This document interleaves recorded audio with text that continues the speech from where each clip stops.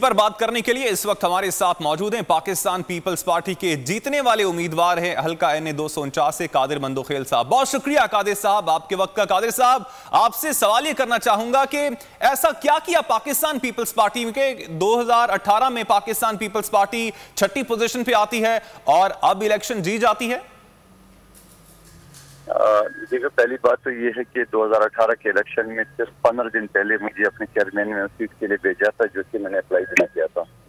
और उसके बाद से मुसलसल 2018 के इलेक्शन से लेके और और शेड्यूल अनाउंस होने तक मैं हल्के में मौजूद रहा था। कोरोना की सूरत में भी डेवलपमेंट काम की सूरत में भी कि लगभग दो अरब रुपए ज़्यादा में तरक्याती काम किए दो हॉस्पिटल बनाए वहाँ पे तकरीबन ऑलमोस्ट नाइन्टी परसेंट काम उसके मुकम्मल हो चुके दिल का एक जनरल हॉस्पिटल है।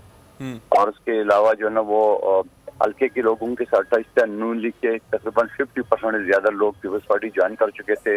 तो हम ये समझ रहे थे कि ये जो कास्टिंग बहुत कम थी और ठीक मतलब पाकिस्तान पीपल्स पार्टी ने बहुत काम किया है। अब एक और सवाल उठता है यहाँ पर कादिर साहब पाकिस्तान मुस्लिम लीग नून को एतराज़ है ना सिर्फ़ पाकिस्तान मुस्लिम लीग नून बल्कि पाकिस्तान पीपल्स पार्टी के अलावा जितनी भी जमातें इलेक्शन में थी उन सबको एतराज़ है और वो रिकाउंटिंग चाहते हैं खासतौर पर पाकिस्तान मुस्लिम लीग नून। तो आप लोग तैयार हैं रिकाउंटिंग के लिए?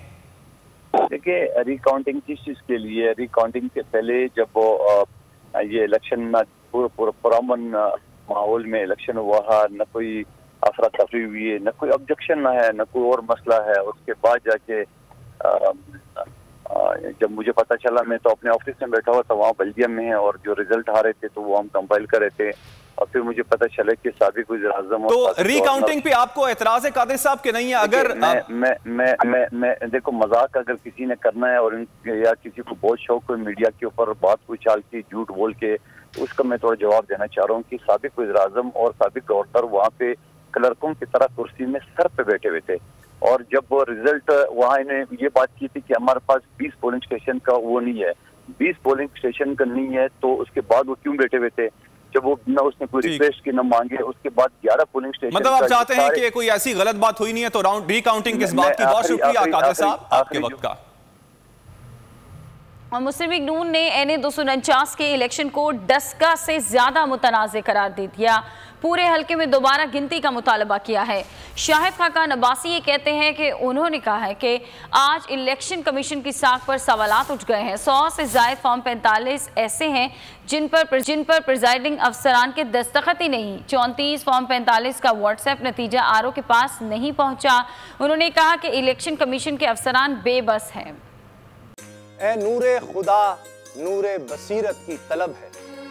रमज़ान का सदका तेरी रहमत की तलब है।